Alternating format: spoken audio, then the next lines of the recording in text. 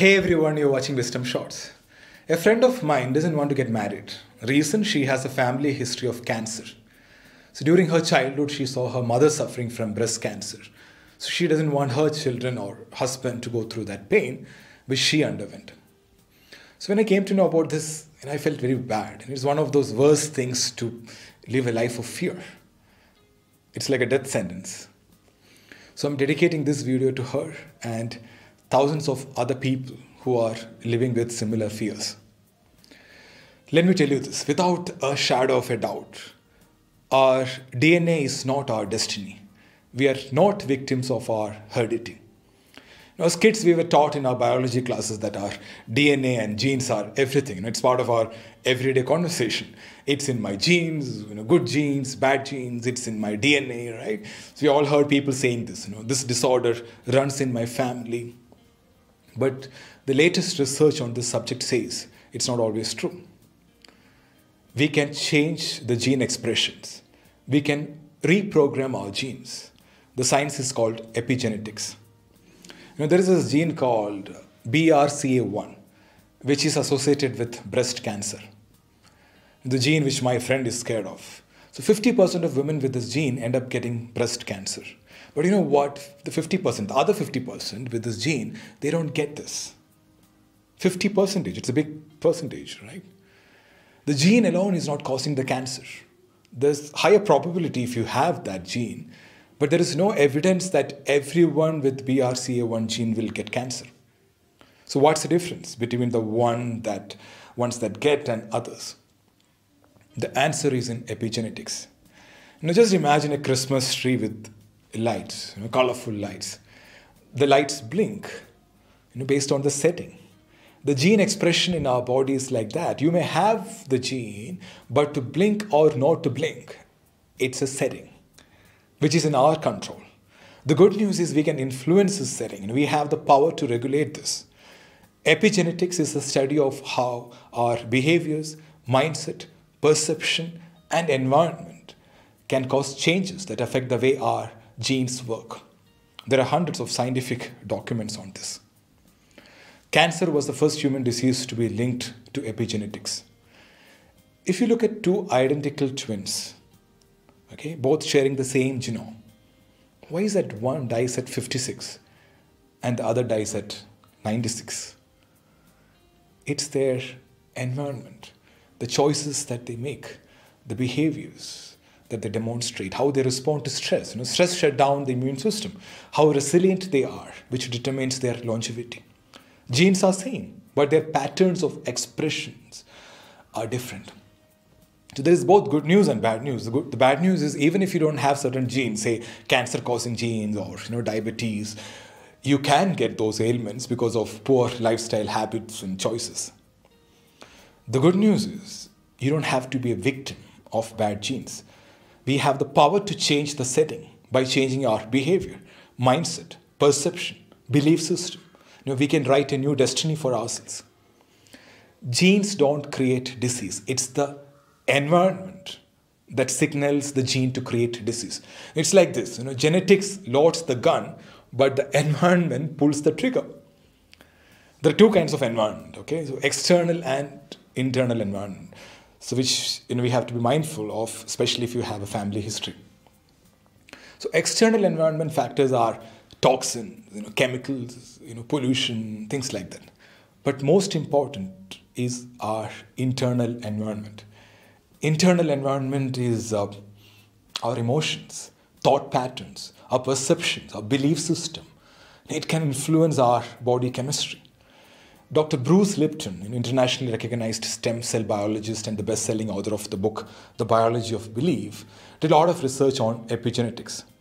His research at Stanford University School of Medicine revealed that the environment influences the behavior and physiology of our cells. So when you look at ourselves, you know, you're not a single entity, but you are a community of trillions of cells. Every cell is intelligent.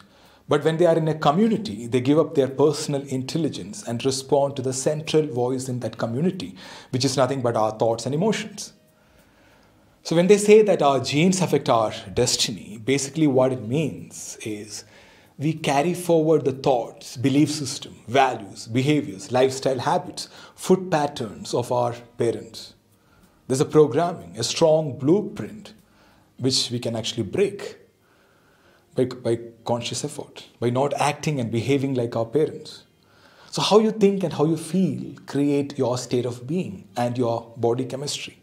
So people normally wake up every day morning and run the same pattern of thoughts and emotions, familiar feelings and thoughts. It creates more of same chemicals. Interestingly, if you analyze closely, you'll realize that most of our values, beliefs, thought patterns came from our parents. In our body, when we are living by the same emotion every day, we are stimulating the same genes every single day the, inter- the internal environment of our body is sending specific signals to the cells, and the cells are getting the same instructions, and the same instructions produce the same proteins. As a result, you get the same disease as your parent. You are headed for a genetic destiny because there is no new information, there is no new pattern. You are not breaking the pattern. You're having the same organizing beliefs of your parents. So the secret is to change this conditioned pattern by thinking different, acting different, eating different, making changes in your lifestyle. You know, that will change your gene expression. Epigenetics, you know, is a term, is a recent discovery, right? But this concept was there for hundreds of years, especially in the spiritual wisdom traditions of the world. If you join any ashram, say if you want to become a monk, the first thing they ask you to do is to change your identity and behavior patterns. Because if you want to evolve spiritually, it is not possible with your old genes. They don't use the word genes, of course, you know, they, they use the word samskara. They will suggest practices to burn your old samskaras, old habits, old behavior patterns from your family, from your parents. They will give you a new name, you know, Swami Samananda, right? So different dressing, you have to shave your head and your environment, environment will be completely different from your past, from your parents. And your behavior will be very different. You know, you, you meditate for hours, which will result in neuroplasticity. New neural pathways are created in your brain. And you'll become a different person in, in a couple of months. So this is a classic example of epigenetics. You go beyond your genes and you'll become a spiritually evolved person. You go beyond your family history. So, to conclude, the message I want to share with all of you is we are not doomed by our genes. We can become a genetic engineer. Our genes can be reprogrammed by our conscious effort. If the genome is the hardware, then the epigenome is the software. You can load any software and you get results based on what you install. So imagine a kid is getting a mobile phone used by his or her parent. And the hmm. phone is loaded with application, software, and data. Now the kid has two choices. Use the same phone in the same way, use the same apps, and get the same result like their parents. Or delete all unwanted apps, install productive things, and use it in a different way.